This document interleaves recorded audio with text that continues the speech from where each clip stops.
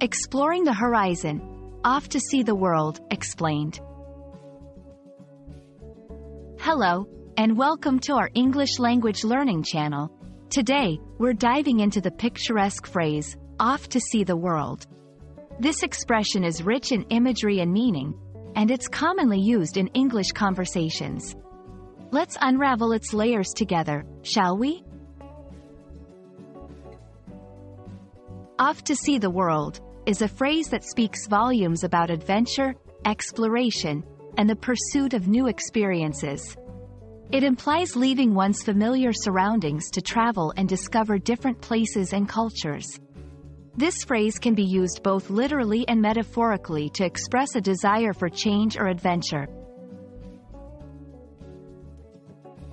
The beauty of this phrase lies in its versatility.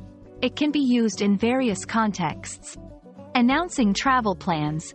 When someone plans a trip, they might say they're off to see the world, to share their excitement about exploring new destinations. Embarking on a new life chapter, it can also symbolize the beginning of a new phase in life, such as starting college, a new job, or moving to a new country.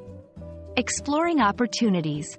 Sometimes, it's used to express the act of seeking out new experiences or challenges, not necessarily related to travel.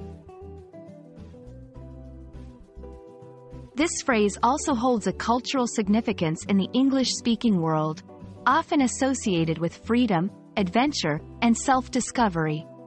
It's a reflection of a society that values exploration and the learning experiences that come with it. Books, movies, and songs frequently reference this theme, showcasing its deep-rooted presence in popular culture. Off to see the world is more than just a phrase. It's an invitation to embrace the unknown, seek new horizons, and enrich one's life through discovery. We hope this exploration has inspired you to think about your own adventures, whether they're literal journeys or metaphorical quests for growth. Thank you for joining us, and until next time, keep exploring.